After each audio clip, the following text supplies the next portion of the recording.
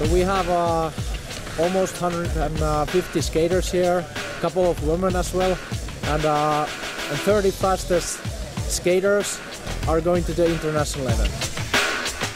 My name is Toni Heikkilä, 28 years old. Last year it didn't went so good. I broke my knee in the first morning and couldn't skate all weekend and that's it. No can do. I don't have time to think about it, I'm not scared. I'm Salla Kyhälä, 30 years old, and I'm from Finland. I've skated my whole life. I play ringette, so I've been on ice for uh, 24 years. I've always played team sports, so this is the one time I get to do something for myself, and it's you, you just go so fast, and I just love it.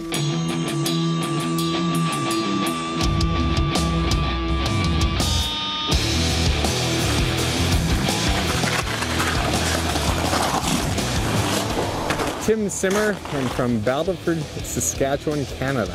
I'm here because uh, this is probably one of the most exciting, thrilling sports that a person could ever be involved in. My goal today is definitely to qualify, and, and I'd like to qualify with, uh, with uh, a really decent time. Um, make it down the track standing up. Track here is 350 meters long and uh, elevation drop is almost 60 meters, so it's pretty steep and fast. I go with my limits. I'm not trying to go faster than I can.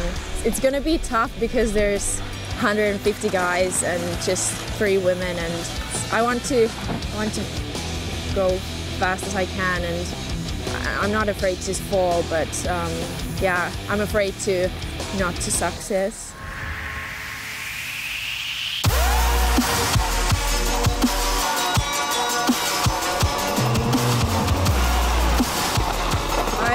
With the second round. The first time I fell a little bit on my knees, but the second time it was better. But I feel like I still could have done it a little bit faster. But I don't know is it enough, but we'll see.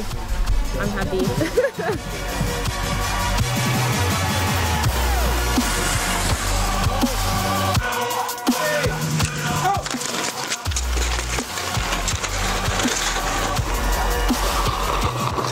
Uh, yeah, pretty good. I the worst one it was 26 something. I think I was fifth or fourth.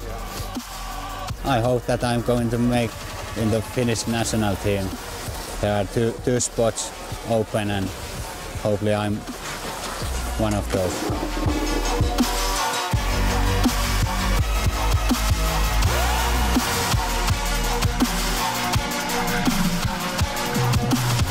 Uh, it was good. Felt good, but um, I got a little bit wobbly on on uh, one of the spots, and and uh, I knew I could have did a lot better.